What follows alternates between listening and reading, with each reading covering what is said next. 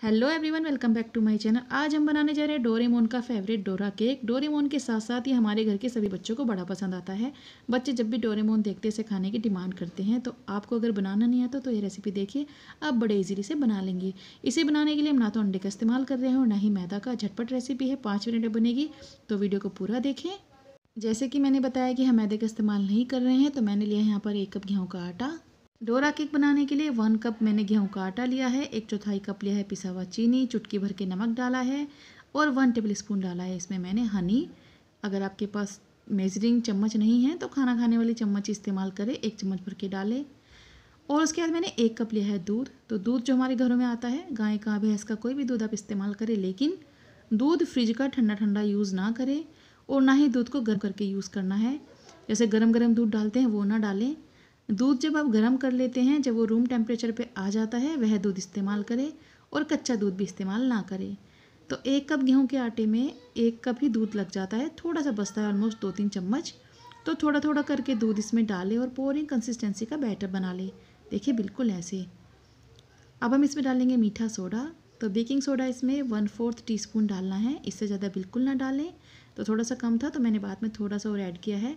तो one fourth teaspoon baking soda डालें। Baking powder का इस्तेमाल ना करें और अच्छे से मिक्स कर दें। ये देखिए, ये हम यहाँ पर तैयार हो गया। थोड़ा सा दूध बच गया है।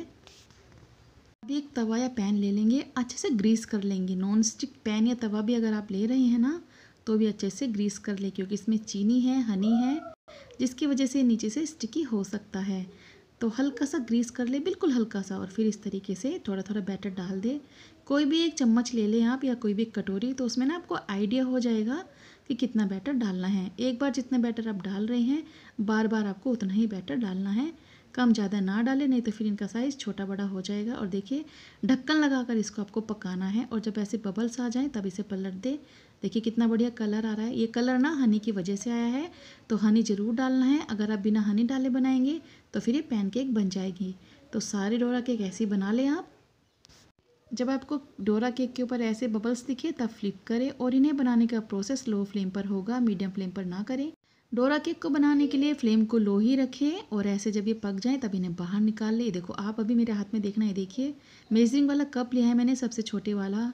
इससे क्या होता है ना आइडिया मिल जाता है कि आपके जो डोरा केक है, उनका साइज़ कैसा रहेगा। तो एक एक करके ऐसे डालें और जब ऐसे बबल्स आएँ फ्लिप कर दें। कच्चा फ्लिप बिल्कुल ना करें। और ये देखिए कलर कितना बढ़िया आया। तो ये देखिए सारे डोरा केक्स बन के तैयार हो गए हैं। कितने बढ़िया बने हैं। इन्हें बनाना बहुत आसान होता है, आपने देखा ही है।